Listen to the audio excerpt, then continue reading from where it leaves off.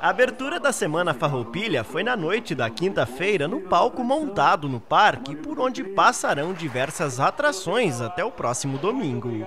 O parque hoje é o parque do tradicionalismo, do gauchismo e nós estamos de porta aberta para receber todos vocês. O evento tradicionalista é promovido e organizado pela Prefeitura por meio do Departamento de Cultura, em parceria com os CTGs e apoio de grupos tradicionalistas.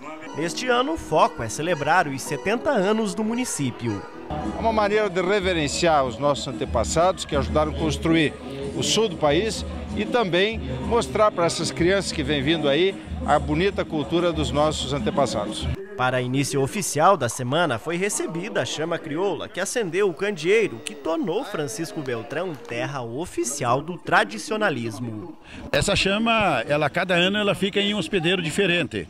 Tanto pode ser numa propriedade particular, como também pode ser num grupo de cavaleiro ou num CTG, numa entidade tradicionalista. Neste ano são esperados milhares de amantes do tradicionalismo na 16ª Semana Farroupilha. E tem até quem está conhecendo a cultura gaúcha, como essa mexicana que faz intercâmbio no Brasil.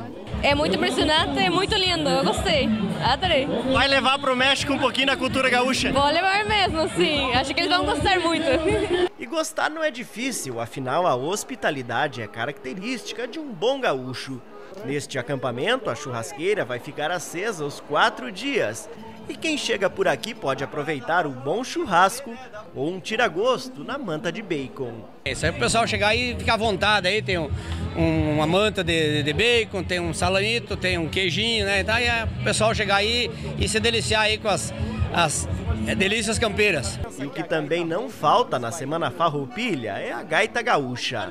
Debulhando uma vaneira, faço o galpão incendiar. Quem ouve jamais esquece o gaiteiro do Paraná.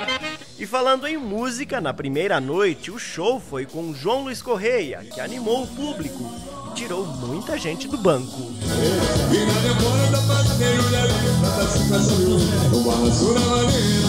Neste ano, 32 grupos tradicionalistas estão acampados no parque.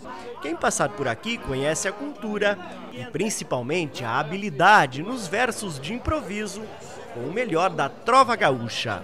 Um abraço deste rancho lá pra TV Sudoeste.